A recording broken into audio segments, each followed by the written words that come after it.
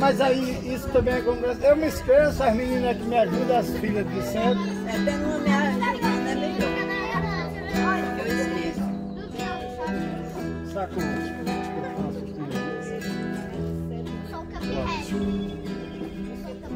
A lua vem surgindo, cor de prata.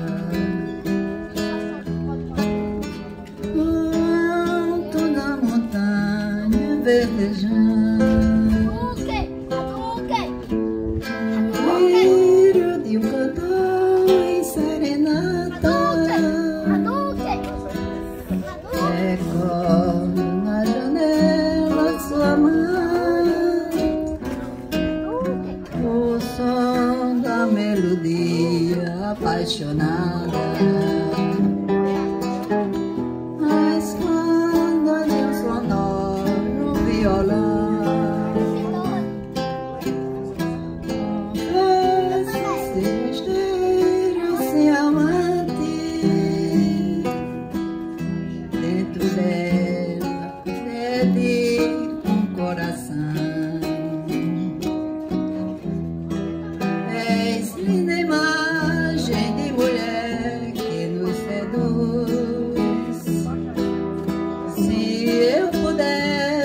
Estaria no altar.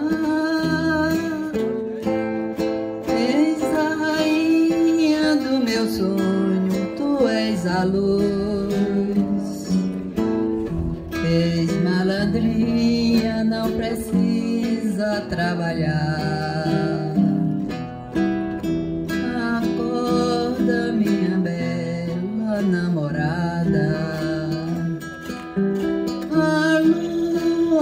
Convida a passear. E os raios que dominam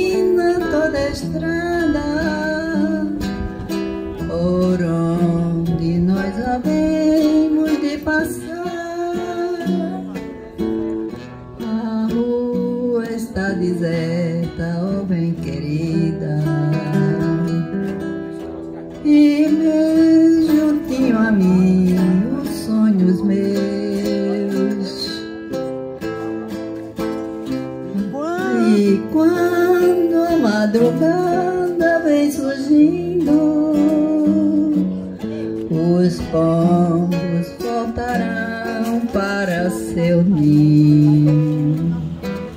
Oh, linda imagem de mulher que nos seduz. Se eu pudesse, estaria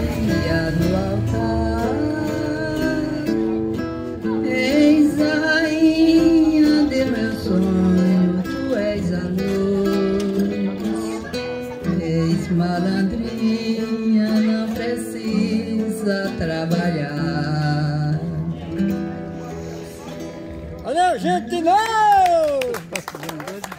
Melhor agora? Agora fiz gol. Agora tá pescando. É, meus jovens, Baixa uma coisinha aí, Marília, Marta. meus jovens, minhas crianças, Baixa uma coisinha aí. meus jovens, minhas crianças. A gente escutar Maria Olinda, Maria Olina cantando isso, às vezes para o povo de hoje é uma coisa tão sem graça, né? Mas isso, isso aconteceu num tempo que a música era arte. Que a gente cantava com o espírito, com o coração, não era com a carne. Hoje a gente canta e dança com a carne. E a carne não faz parte da gente. Carne faz parte da gente também. Não vamos ficar agora nos sentindo condenados, porque a carne às vezes nos faz um convite. Mas é só a título de explicação. Essa música é quando a gente cantava com o coração. É interessante, o carnaval, que antigamente, antigamente a gente tinha fases, a gente tinha o carnaval, tinha o 7 de setembro, tinha a música, o- tinha o mês de junho, tinha a época da, da quaresma, que inclusive faz uma, um encontro com o carnaval e, e a, a sociedade vivia, sabia muito bem dividir essas coisas. Os velhos tinham um trabalho danado, porque os jovens queriam para o carnaval todo, todo jeito, e os velhos diziam, isso é festa do diabo, né? E o jovem é sempre meio diabólico no sentido da energia que tem, né? Mas assim, você vê aquela música que o pai cantava que diz Em todo, em todo ensaio de carnaval Não consegui fitar palavras de Pierrot Fizeram Isso foi uma música de carnaval Então o carnaval antigamente era um momento onde se tinha uma abertura antes da quaresma, né? Para o povo ir para a rua e, e viver um pouquinho fora da, daquele. Da, da coisa mais séria, que era a religião e tal. Mas hoje, carnaval se faz qualquer dia. Sexta-feira da paixão, tá o povo cantando abaixa, abaixa, sobe desce e faz e tem, não sei o que é que tem. Acabou-se. A nossa tradição acabou. Né? Ou estão querendo acabar. Não é isso. A gente tem que fazer, saber fazer. Oh, que coisa bonita aconteceu ali dentro. Família toda reunida diante de Maria. E por que, é que a gente se reuniu ali? Porque ela pregou isso, porque ela ensinou isso a gente. E esse povo, essa cultura não pode morrer. Certo?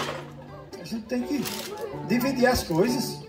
Eu sei chegar. Eu vim de, de bermuda hoje, de chinelo, porque eu sei quando vim. Mas se eu fosse convidado para ir para um lugar assim mais. Não é chique, não. É chique às vezes é, é coisa de gente pobre. É um lugar mais que tivesse mais formalidade. Eu, e assim eu não podia, não é? A gente tem que fazer. Eu, eu, eu fiz esse discurso todinho e Vicente disse que minha história não tem fim, mas só para dizer que a, o momento de Maria, eu, o momento que ela viveu, era um momento onde na, ela tem uma espiritualidade. Quando ela canta, ela está sentindo aqui no coração, não é na carne. Só isso. E que crianças e jovens entendam isso. E entendam também que a gente está um pouco velho e por isso que a gente fica meio devagar desse jeito. Vocês têm mais é que brincar e ter energia. Valeu.